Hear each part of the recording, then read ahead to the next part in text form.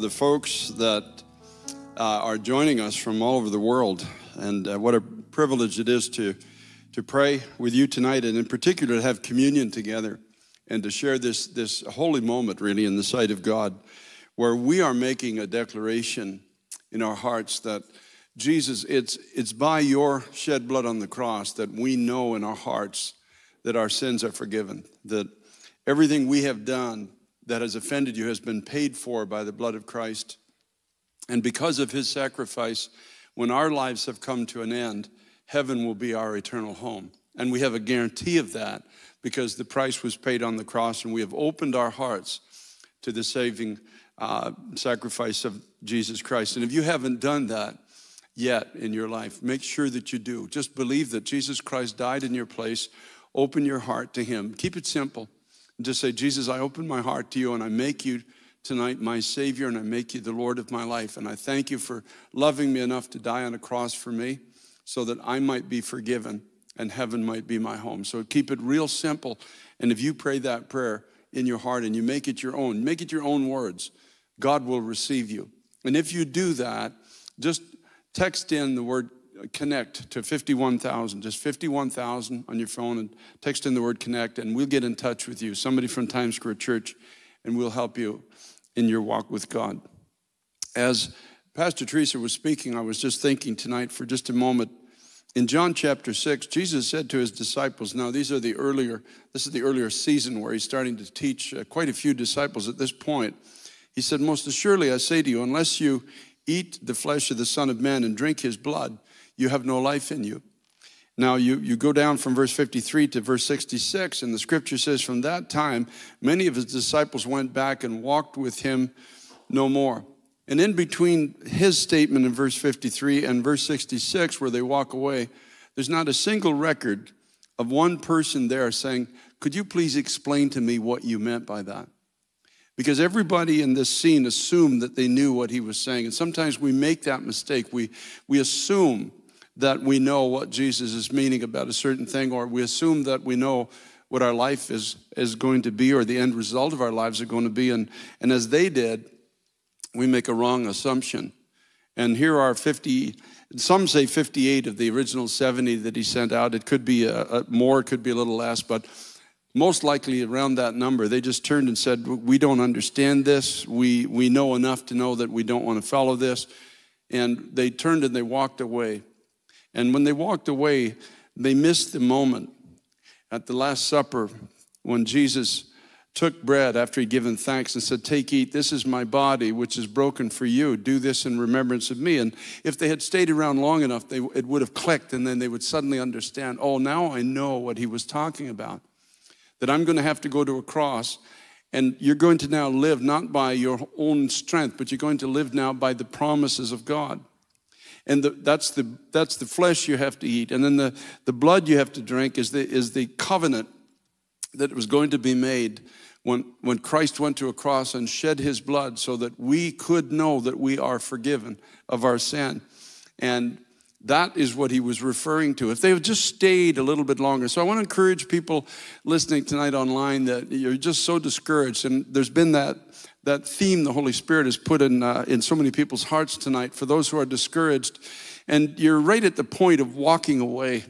You're, you're, you're walking away from the things of God. You're at the point of walking away from your marriage. You're at the point of walking away from your family, your job, whatever, whatever it is, because you assume that you know something that honestly you don't know yet.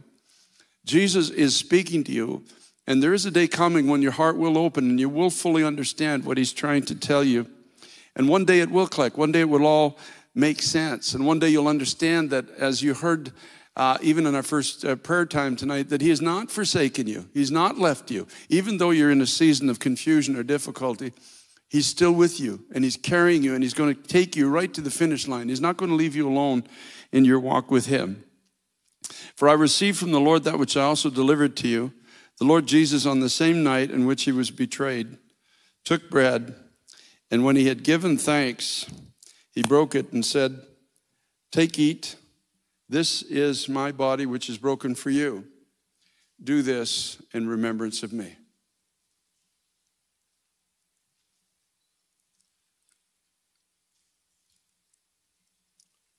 In the same manner also, he took the cup after supper, saying, This cup is the new covenant in my blood. This do as often as you drink it in remembrance of me. For as often as you eat this bread and drink this cup, you proclaim the Lord's death until he comes. May I, may I say it another way? Your life will become a proclamation, as, as Pastor Teresa spoke about tonight, of the reality of this indwelling presence of God.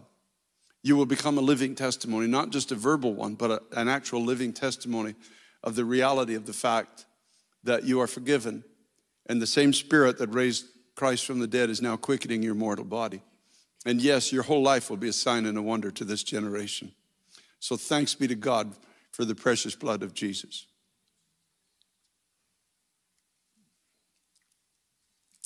Praise God. Before we close with the song tonight, we always encourage you stay in your connect groups at home. Make sure you stay in this prayer group and pray. Pray for an infilling of the Holy Spirit. Say, God, fill me with your spirit.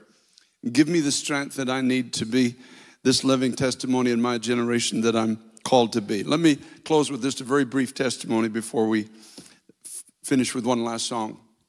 I just came back from uh, Seattle and Tacoma, Washington, out on the, on the West Coast, and we had uh, Slavic Christian people coming in from literally all the whole of the western part of the country. And we had some marvelous, marvelous meetings. And, but one evening, a young man came up to me and uh, at the end of a service, and he said to me, "You don't know me," and he said, uh, "I'm going to make this short."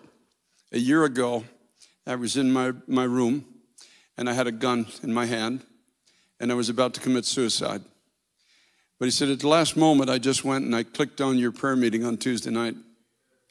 And he said, I gave my life to Christ that night, and God has set me free. And his wife was there with him, and she's nodding her head, and she was all smiles. And he said, I'm a, I'm a different man. You see, see, this is what's happening when we pray. This is what's happening when we get together and we begin to, as, as Pastor Nick did tonight, we just, we're not willing to take no for an answer and we're not leaving anybody behind. We're going to fight this fight for every last soul that's out there, the ones we see and the one, ones we don't. And I'm just so thankful for testimonies like that. I'm so thankful for people who have found hope from a prayer meeting in a little Bible school on the other side of the country. Only God can do that. And so, for those that are online tonight, before we just close out with this song, we want you to know that Jesus loves you. We want you to know that we are believing with God for you.